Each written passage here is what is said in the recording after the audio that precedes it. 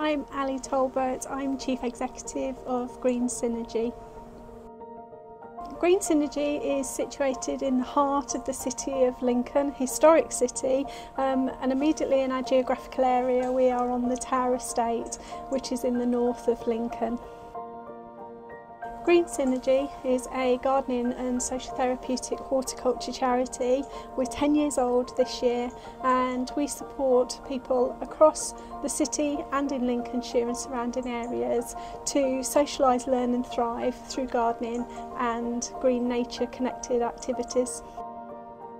So our, one of our main areas is our what we call our event lawn, um, where we host a range of community events that's surrounded by beautiful herbaceous borders. We have our market garden, and that's our predominant growing beds, uh, where we've got a whole range of um, beds dedicated to not only our projects, but also um, where we grow our vegetables that we give to the community, um, and some of it we sell for donations. We're situated at the moment in our children's garden, which is our project for 2023. This has been co-produced and co-designed by the children young people on our Tower Power project, um, and you can see their handprints.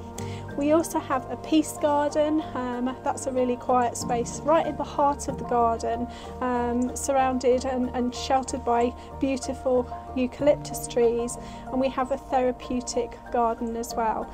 In the therapeutic garden we run quite a lot of our mental health projects um, that support adults um, who may be struggling and maybe going through difficult times with their mental health and well-being and we provide programs in the garden for um, those individuals to help support their, um, their positive mental health. Within the garden as well, we have a heritage orchard um, where we are bringing back heritage species and Lincolnshire species of fruit trees um, to create um, and improve the biodiversity as well on the garden. We have a polytunnel um, and then we have a 1.5 acre wilding and conservation area in the garden as well. Charity's 10 years old this year. Um, we were formed as a small gardening group by our founder Mary Hollis in 2012 and became a charity um, in 2013. So it's 10 years old of gardening focused on people and plants.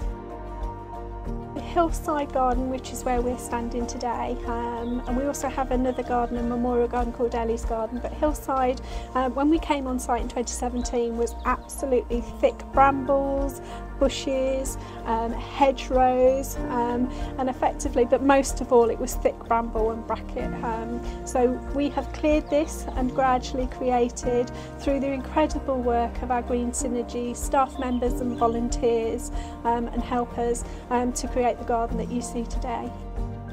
We are really trusted organisation in the Tower Estate. Um, so we don't only just do gardening as a charity, uh, we run a warm spaces through our charity office. We run a whole series of events for the community to actually, as they look after us, we look after them.